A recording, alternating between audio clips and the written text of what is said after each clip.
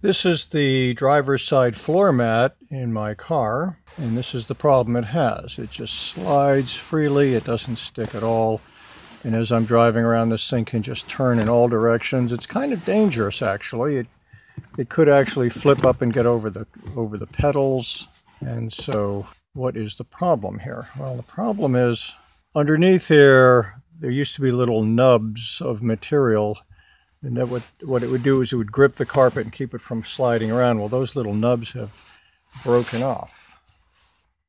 There is this little piece right here, a little hook, and that sort of hooks it, kind of. It keeps it from sliding a little bit, but it doesn't it doesn't grip for long. It, it, it soon lets go. We have to figure out a better way to keep this carpet from sliding all over the place. Your typical passenger car vehicle is going to have four floor mats, two in the front and two in the rear. Now, most of the time, the only seat that's being occupied is the driver's side front, and therefore the driver's side front floor mat takes the bulk of the beating, and the other three floor mats are going to be just fine. So we're going to flip this guy over. You can see all those little nubs, that's what I call them, are broken off. So it's just basically a flat surface. All of these little spots here, that's where there's supposed to be a little plastic nub. what they do is they kind of grip the carpet and keep this thing from sliding around. So for comparison, we will look at the passenger side. Now you can see what these things should look like. These little nubs, these little protrusions of plastic, they grip the carpet and keep this thing in place. Now this floor mat is fine, it doesn't need to be replaced. The other three floor mats are fine. The logical thing to do then is to replace this floor mat, but unfortunately they don't want to sell you just one floor mat. They want to sell you an entire set. So rather than replacing all four of the floor mats, is there anything we can do to modify this floor mat to restore its grippiness? Here's one item for sale on Amazon. It's called the Eagle Claw. And you can see how it works here. These little grippers dig into your carpet and these little devices attach to your floor mat and then these little grippers attach to these devices. An interesting device. It probably should work. However, I've got a problem with the $21 price tag. This is, after all, just a dirty old floor mat from a 15 year old car. I'm not sure I want to put $21 into a floor mat. Here's another variation on that theme. This is a set of four clips for your floor mat. It comes from this company. I'm not sure how to pronounce it. Is it Azuron or Azure One? I don't know. But it's a similar arrangement here. You have these round disc-like devices that punch through your floor mat, and this is what the top of it looks like. This is what the bottom, it's got this big nail here. This is what digs into your carpet. That's kind of what it looks like put together, and it provides you measurements. The best thing is the price. Now this is only $8.39. Now I think I'd be willing to put $8.39 into my dirty old 15-year-old floor mat. This item is being sold under several different brand names. Here's another company selling the same device under the brand name Autoxbert. In this case, it's $11. Here we have yet another company selling the same device. The name of this company is Youngfly, and in this case, they only offer you two of them, but, but the price is only $5.98, and you could possibly get away with only two of them. Here's, here's the same device again under yet another name. In this case, the name is Dicrey Universal Fixing Grips. Just a little close up there. And you can see it's the same device. Again, close up of the device, top and bottom. In this particular case, they offer you eight of these, and the price is only $8.99. There are multiple examples of the same device available on Amazon. I went ahead and got the Azerone 4 clip set. There's a better view of that nail, and this is how you put it on your floor mat. You got to punch a hole in it and then screw it together like this, and that's kind of what it looks like when it's put together. So I went ahead and ordered one of those devices from Amazon, and this is how it came, just a simple box. It contains four of these gripper devices, each one in its own separate package. No instructions, however. But fortunately, the listing on Amazon had enough information on it to where I could see how these would be implemented. I'll go ahead and take one of them out of its pouch.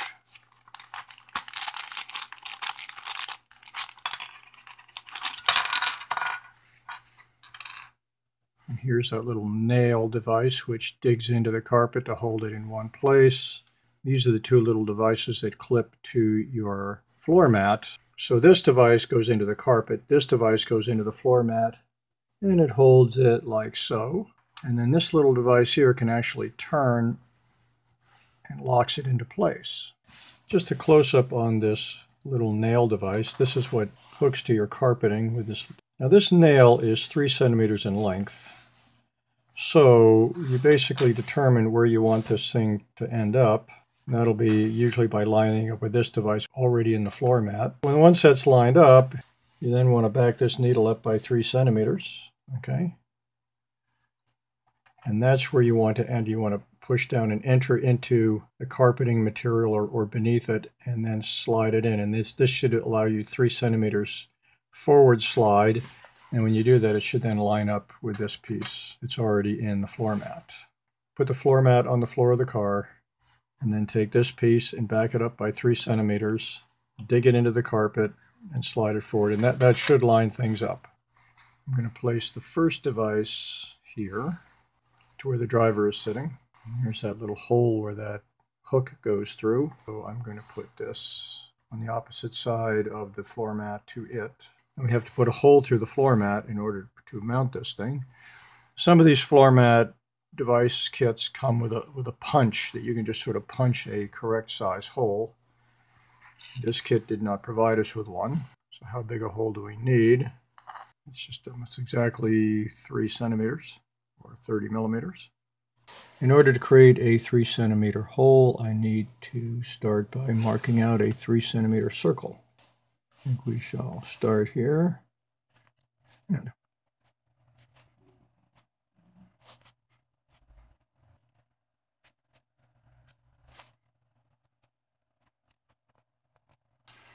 Let me get this started with just a simple knife here.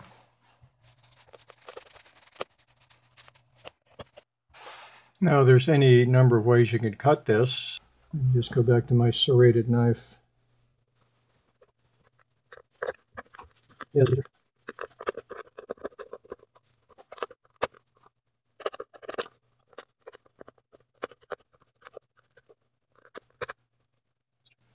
Okay, we're pretty well cut through the rubber mat, but we got a lot of problems with the carpeting part of it.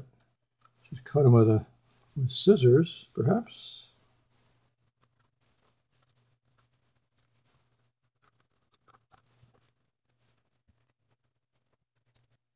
Alrighty, that's fairly good. Okay, then this goes on, this one goes on this side, this piece there, this piece goes on the other.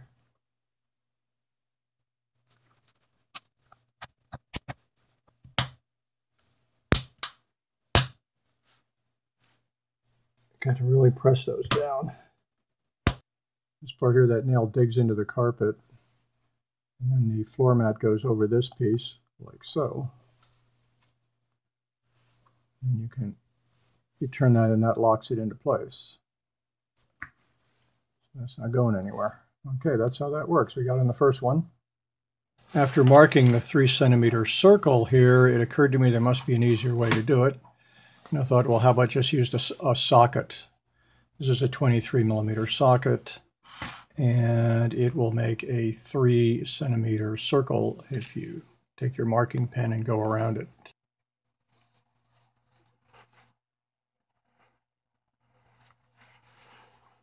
So much easier. Okay, I've gone ahead and put in a couple more of these fittings. Here's the first one we put in, and here's another, and here's another. That's on the uh, underside on the top side, one, two, and three. And now we're going to try it out in the car. I'm now going to put the floor mat back in the car. I've got the piece with the nail already in it and it's locked in place. I'm doing that just to sort of line everything up. Now we've got this original hook right here. We match up with it. That's about right. Now we can see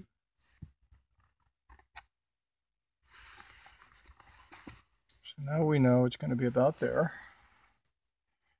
Let's go ahead and stick that nail in there. Let's see how close does that come. Okay, that's good. That should work. Now we look at the next one.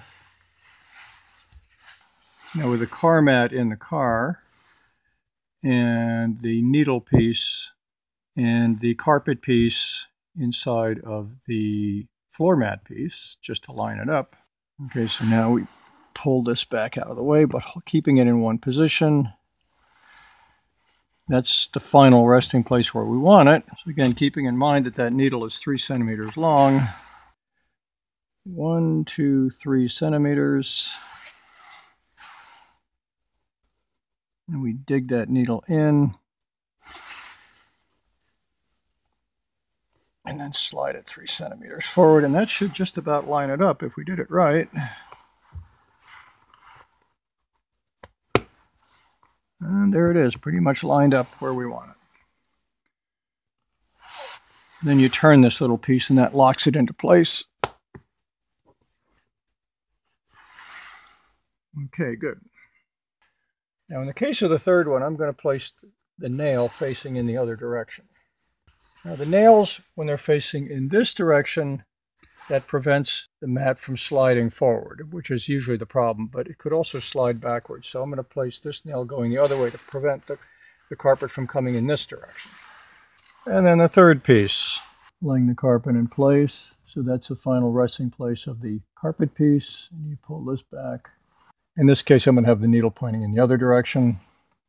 Okay, and then you have to move that needle by three centimeters. One, two, three. And that's where you dig in the needle and slide it down. And hopefully that will line it up.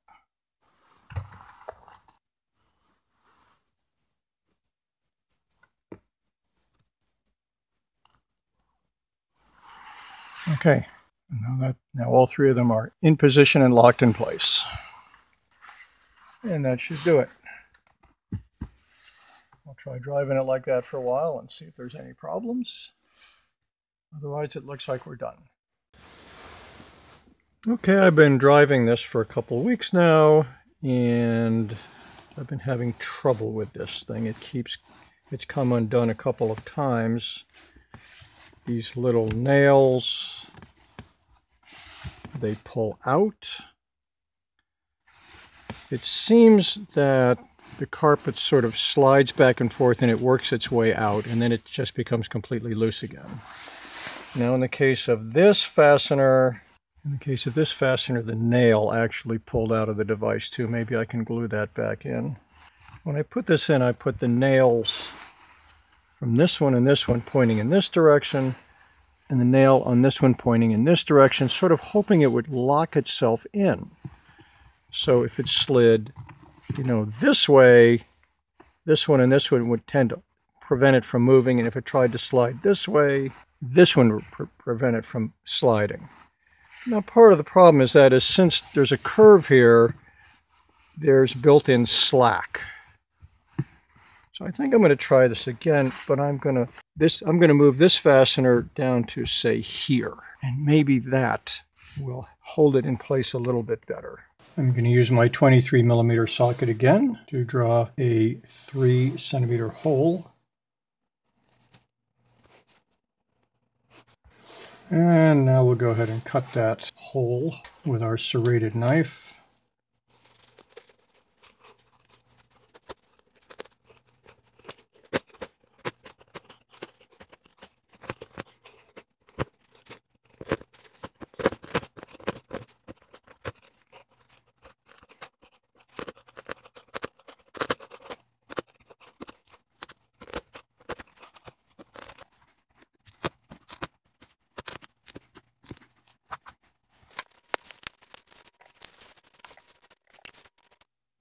The kit came with four fasteners, and I only used three of them, so I have one left over. I'm going to go ahead and use that fourth one now. Uh, it turns out it's really pretty tough to get these things out once they're in. You know, once you have one in like this, it's really hard to get it out. So rather than risk breaking it, I'm just going to go ahead and use this fourth one.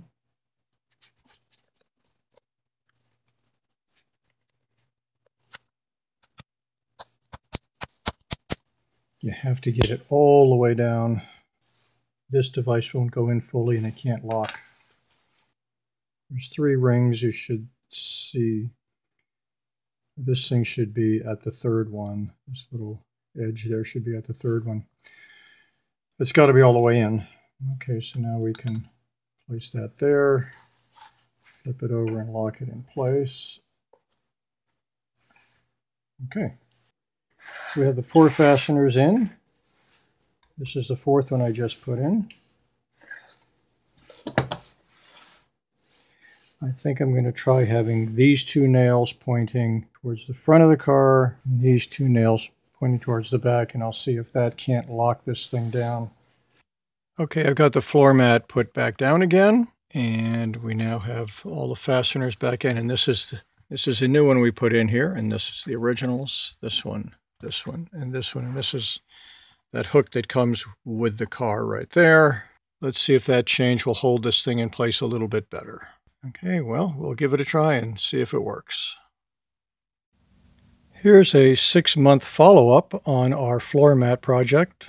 It's still holding in place. It hasn't gotten loose once. We did have a little problem here. It pulled through. This part, this retaining part, pulled through the floor mat. Perhaps I made the hole a little bit too big. Now we can remove that. We have to turn this and we can get that part out. But in order to get that back in, we're going to have to separate these two pieces, and that's going to be difficult. They're really locked together pretty tightly. Okay, I've got it here on the bench. It's made of two pieces that are snapped together. It's going to be hard to get those apart. I'm sort of afraid I'm going to break this thing if I try too hard. It has these little tabs here that are dug into all these, these grooves along the side. I have to push this back a little bit without breaking it. It really isn't made to be fixed. Let's see if I can try one of these super tiny screwdrivers. Let's see if I can get underneath it. Okay, I've dug it under here. Let's see if I can move it. I'm afraid if I push this, I'm going to end up breaking it. I'm going to see if I can't just sort of stuff it back in. I'm going to see if I can't work it back into the floor mat somehow. Now let's see if we can get that back in there. See if I can't work this thing in.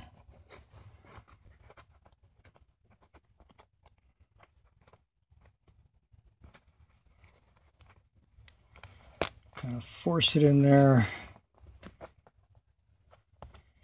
Okay. All right, that's got it.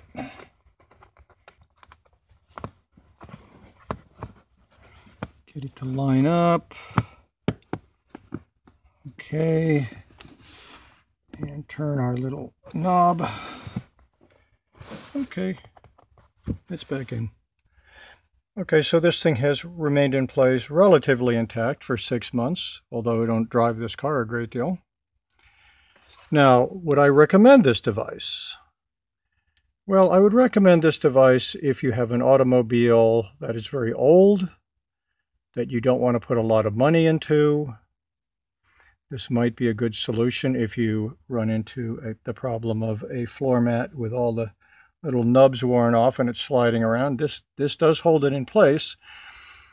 Uh, and it is the cheapest solution I could find. I would, however, note that it was a fair amount of work to put all, all of these things into place. And they do have some problems, as you just saw.